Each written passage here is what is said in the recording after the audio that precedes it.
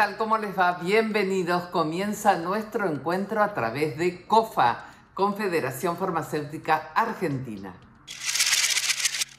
Llega ahora la farmacéutica Andrea Sánchez y preguntarte si existen distintos tipos de parásitos. Hola, ¿qué tal Tete? ¿Cómo estás?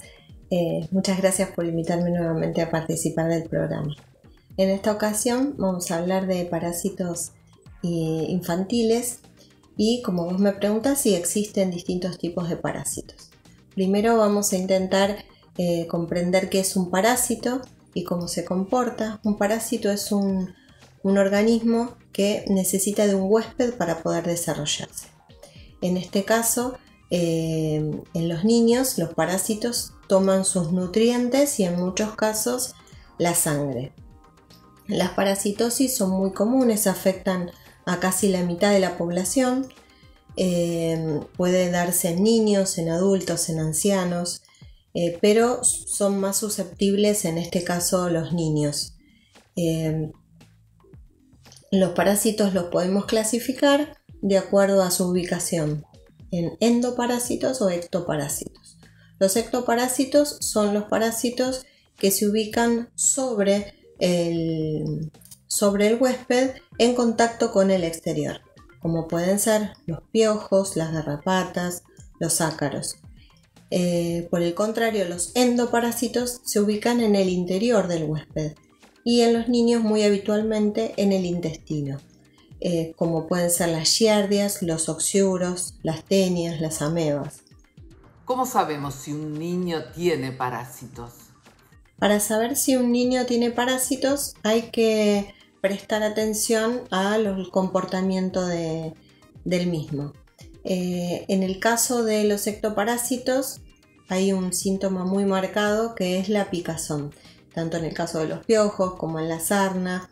el niño evidencia una molestia importante, una picazón eh, en el cuerpo, eh, por, digamos, hasta puede producirse una reacción alérgica por la picadura de estos, de estos parásitos.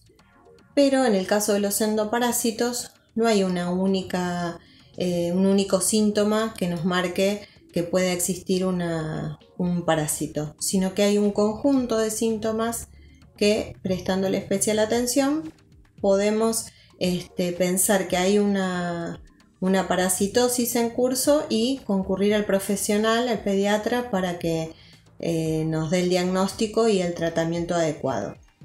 Eh, entre los síntomas, el conjunto de síntomas puede haber diarrea, son diarreas acuosas que se alternan con una este, deposición normal, eh, hay dolor abdominal, que no es un dolor agudo, pero sí es un, es un dolor que se mantiene en los días. Puede haber eh, distensión abdominal, esa sensación de que tiene la pancita eh, como hinchada. Em, también puede tener em, eh, picazón anal en la zona del ano, que también le puede producir problemas para conciliar el sueño o durante el sueño. y puede tener descenso de peso o falta de apetito todos esos síntomas pueden llegar a marcar este, una alerta para los padres. ¿Se puede prevenir o de alguna manera evitar el contagio de los parásitos? Sí, sí, por supuesto, se pueden prevenir. Este, esto es fundamental ya que un correcto lavado de manos, em, tanto en los niños como en los adultos, luego de cambiar un pañal o cuando cocinan la comida de los chicos, una buena cocción de las comidas, un buen lavado de lo que son los vegetales, sobre todo, se pueden sumergir un rato eh, en agua con un poquito de lavandina, eh, suministrar únicamente agua potable o previamente hervida, eh, intentar que los chicos no, no estén en contacto directo con la tierra, eh, las uñas cortas, eh, todos los lugares donde puedan existir huevos eh, o deposiciones de animales, de las mascotas, eso hay que tratar de evitarlo y evitar que se lleven la mano a la boca, la mano sucia. Por eso el lavado frecuente de manos. También es muy importante que lleven a la consulta periódica a las mascotas, porque las mascotas, la parasitosis de las mascotas después puede pasar a los niños también. hacer un buen lavado de lo que son las zonas de juegos de los chicos, este, evitar la presencia de insectos, sobre todo cuando uno está cocinando la comida para ellos. Y todo este tipo de, eh, medidas son medidas seguras como para evitar el, este, contagio y sobre todo eh, avisar en el colegio, si el chico está en edad escolar, avisar en el colegio eh, que tiene que tiene en este caso parásitos o piojos, eh, lo que el pediatra diagnostique como para prevenir, digamos, al resto de los, de los padres y prevenir la propagación de, la, de la parasitosis ya que es muy contagiosa. ¿Existen tratamientos para evitar la parasitosis infantil? Sí, existen tratamientos para curar los parásitos. Eh, no tenemos como en virus y bacterias, en algunos virus y bacterias que tenemos una vacuna que, nos permiten que el chico no se contagie, sino que en este caso tenemos tratamientos para erradicar el, parásito. Eh, es muy importante realizar la consulta al pediatra para tener un diagnóstico eh, certero y seguro de qué tipo de parásito es, para eh, tener el tratamiento adecuado. Puede el médico, si lo considera necesario, realizar un análisis de, materia fecal que le manda a los papás tomar muestras de diferentes días o el test de Graham en el caso de los oxiuros, que son los que producen la picazón anal, que como durante la noche la hembra eh, deposita sus huevos en la zona del ano, se coloca una cinta adhesiva y eh, se pueden ver a simple vista los, los huevitos este, en la cinta. Em, en el caso de los ectoparásitos, hay, existen lociones y medicamentos que se pueden administrar, como la permetrina, la ivermectina, depende del tipo de parásito. Eh, y en el caso de los endoparásitos, existen medicamentos como el mebendazol, el albendazol, eh, pero lo importante es saber qué tipo de parásito para poder este, utilizarlo de la forma adecuada. Hay, este, parásitos que requieren una dosis única y hay otros que requieren una repetición a los 15 días para este, erradicar por completo eh, los, los, parásitos que pueden haber eh, empezado a crecer nuevamente. Siempre es muy importante la consulta al médico y ante cualquier duda sobre el tratamiento, la forma de las tomas, la repetición, este, consulte con su farmacéutico. Gracias, Andrea. Si te duele, que sea de risa. Para todas las demás molestias, existe Sertal el antiespasmódico que alivia malestares estomacales, dolores menstruales, digestivos y espasmos intestinales. Sertal. Qué felicidad sentirse bien. Por la pandemia y los cuidados que tomamos, este año no recibimos en planta visitas. Por eso, decidimos desarrollar nuestro primer programa educativo virtual, las visitas virtuales a la Serenísima. Llega la farmacéutica Bettina Caponi y le preguntamos, hay tanta cantidad de eh, protectores solares y tanta oferta que preguntarte si son realmente tan diferentes. Hola Tete, hola a todos, un placer nuevamente estar aquí en el programa. Nos encontramos hoy para hablar sobre protectores solares. El aspecto más importante a tener en cuenta es el factor de protección solar, SPF por sus siglas en inglés, que indican el nivel de protección contra los rayos solares que tiene cada producto. Cuanto mayor es el factor, mayor la protección. Lo primero que debemos dejar en claro es que no es lo mismo un bronceador que un protector solar. El bronceador es la loción o el aceite que muchas personas buscan para tener ese color más moreno. Sin embargo, la recomendación va hacia obtener un protector solar. Ese producto que crea un filtro en nuestra piel para evitar la acción de los rayos del sol sobre la misma. Es como nuestra capa de ozono personal. El 95% de la radiación ultravioleta que llega a la piel es la luz ultravioleta A, que es la principal responsable de los efectos crónicos como el fotoenvejecimiento, las arrugas y las manchas de sol. Eh, durante el verano la luz solar es más intensa y el uso de protector solar se vuelve obligatorio. La exposición al sol puede provocar daños en la piel a corto y largo plazo, que incluyen quemaduras solares, signos de envejecimiento e incluso cáncer de piel. Los protectores solares son de ayuda para la piel porque contienen filtros que reflejan, dispersan o absorben la radiación ultravioleta. Los dermatólogos recomiendan que el factor de protección sea de 30 o superior. Además, es preferible que sea resistente al agua. La evidencia científica respalda los beneficios del uso del protector solar para minimizar el daño, pero la FDA continúa evaluando la seguridad y eficacia de los protectores solares en aerosol.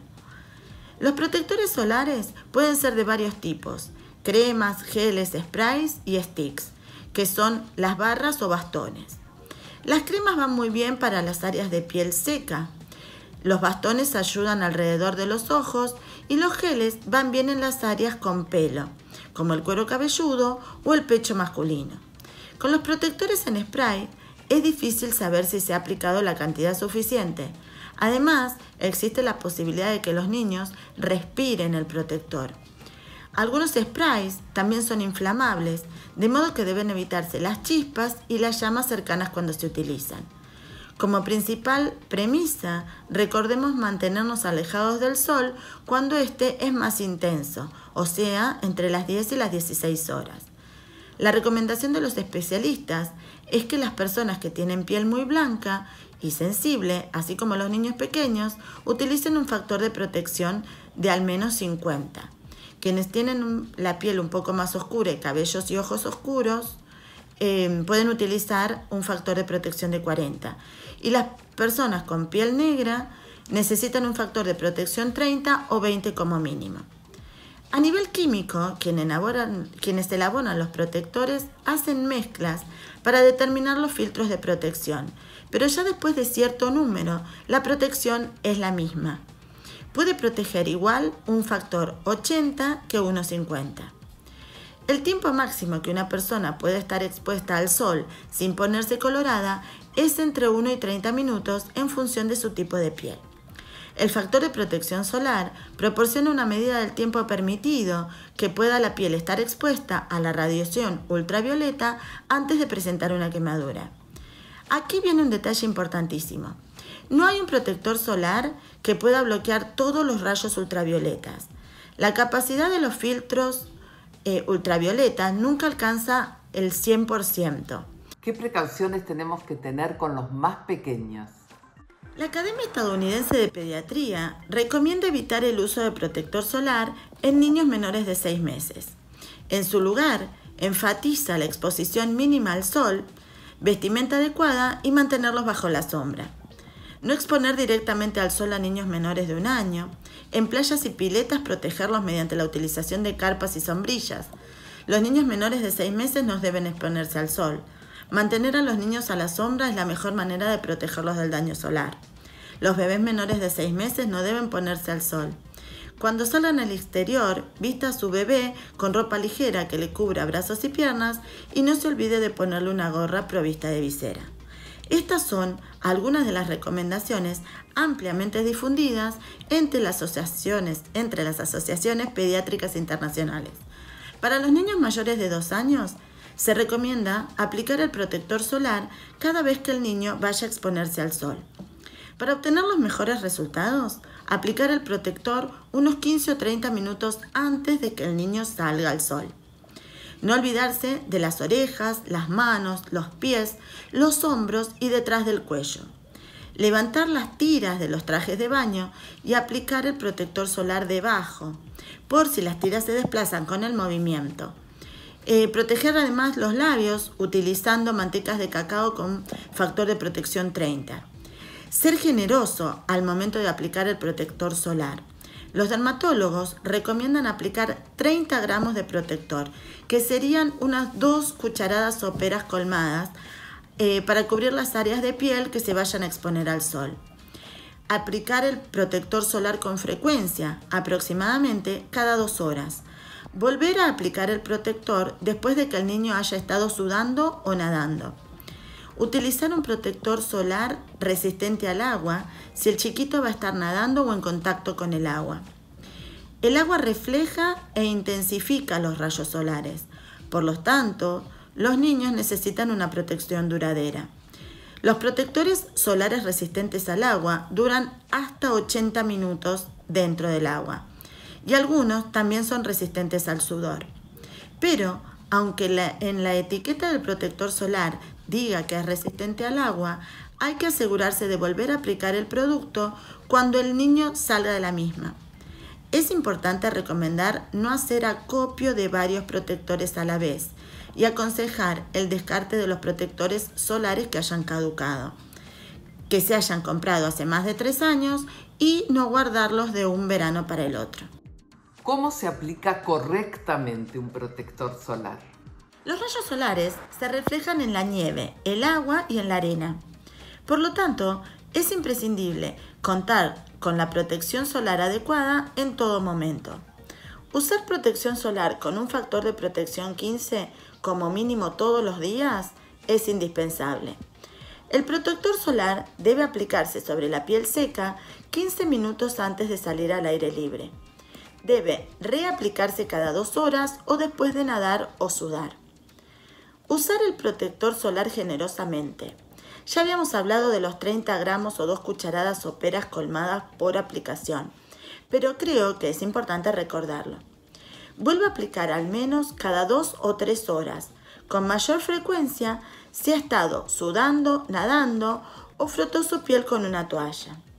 Es importante la elección del factor de protección a utilizar para el rostro y el cuerpo, teniendo en cuenta el tipo de piel y el tiempo de exposición.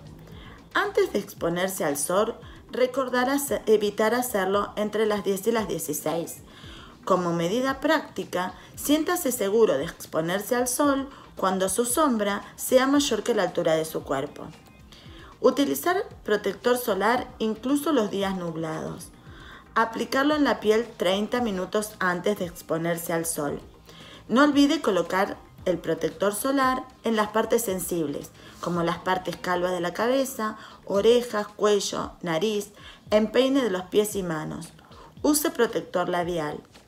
Para aumentar la protección del sol, utilice un sombrero que proteja no solo la cabeza, sino también las orejas. Además es recomendable utilizar ropa ligera y anteojos.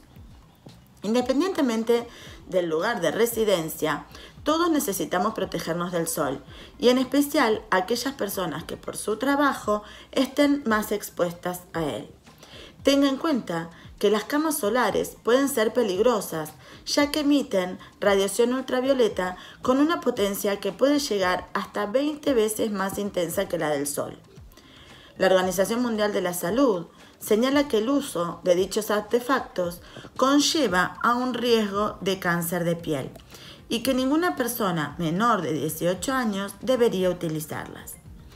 Todos los protectores solares, aun los resistentes al agua, deben ser reaplicados luego de nadar o bañarse, transcurridas dos horas de la última aplicación, secarse con toalla, después de practicar deportes o salir del agua, hacer ejercicios físicos o transpirar en exceso.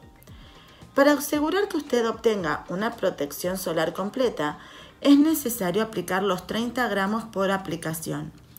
Los estudios muestran que las mayorías de, las personas se aplican solo la mitad o hasta una cuarta parte de esa cantidad, lo que significa que el factor de protección solar que tienen en su cuerpo es inferior a lo recomendado. Durante un día largo de, playa, una persona debe usar alrededor de la mitad o un cuarto de la botella del factor. Los filtros solares deben aplicarse 30 minutos antes de la exposición al sol para que todos los ingredientes se absorban en la piel. Es muy importante la reaplicación del protector solar en cantidades iguales a la primera aplicación cada dos horas. Y finalmente, ¿qué es lo que debemos tener en cuenta antes de elegir un protector solar? Todas las personas son propensas a las quemaduras solares, independientemente de su color de piel. Antes de utilizar un producto, no olvide leer las advertencias e instrucciones contenidas en su rótulo. La mayoría de los filtros solares con un factor de protección 15 o mayor hacen un excelente trabajo de protección contra los rayos ultravioletas. Los factores de protección solar es la medida de capacidad que tiene un bloqueador solar para evitar que los rayos UVB dañen la piel. Otra forma de verlo es en términos de porcentaje. Un factor de protección 15 bloquea aproximadamente el 93% de todos los rayos. Un factor de protección 30 bloquea el 97% y un factor de protección 50 bloquea el 99%. Pueden parecer diferencias insignificantes, pero si usted es sensible a la luz o tiene antecedentes de cáncer de piel, estos porcentajes extras harán la diferencia. Y como se puede ver, no hay un protector solar que pueda bloquear todos los rayos solares. El modelo del factor de protección solar tiene ciertos puntos a considerar. En primer lugar, ningún protector solar, independientemente de su capacidad, continúa siendo eficaz sin reaplicarse cada dos horas. En segundo lugar, el enrojecimiento de la piel es una reacción a los rayos UVB y dice poco sobre el daño que los rayos UVA pueden hacer. La respuesta depende de la cantidad de exposición al sol que se tenga acumulado. En todos los casos se recomienda un filtro solar de amplio espectro que ofrezca protección contra los rayos UVA y UVB. Muchas lociones para después de afeitar y humectantes contienen factor de protección solar 15 o generalmente mayor, siendo suficiente para las actividades cotidianas, estando solo unos minutos eh, con exposición solar. Sin embargo, si usted trabaja o pasa mucho tiempo al aire libre, necesita un protector, un protector solar con mayor protección, resistente al agua como el que se usa en la playa. Los resistentes al agua y los muy resistentes al agua son también buenos e indicados para los días calurosos o mientras hace deporte, porque son menos propensos a irritar los ojos.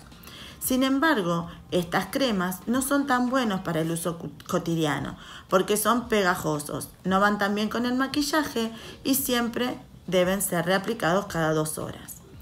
Compre un producto de alta calidad con un factor de protección 15 o superior. Revise los ingredientes para asegurarse de que éste ofrece protección de amplio espectro. Quiere decir que protege contra los UVA y los UVB. Y asegúrese si funciona mejor para uso diario o para uso al aire libre, que garantiza que un producto de protección solar cumple con los más altos estándares de seguridad y eficacia.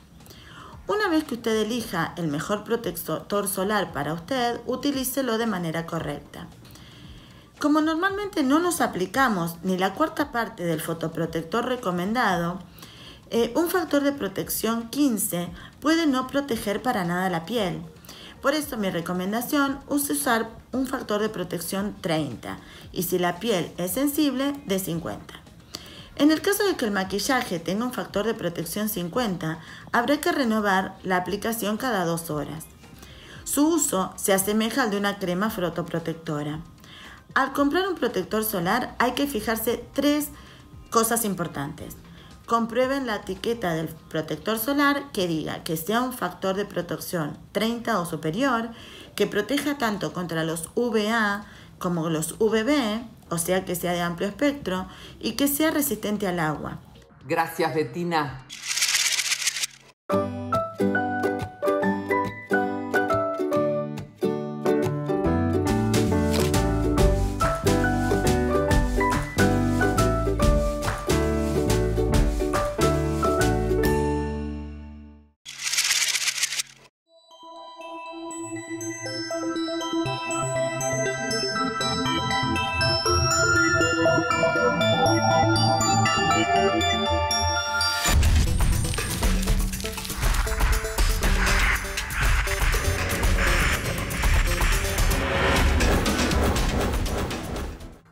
Farmacéuticas y farmacéuticos de todo el país, un abrazo. Gracias. Nos volveremos a reencontrar la próxima semana y recuerde que nuestro Facebook es con vos 24 horas. Chao.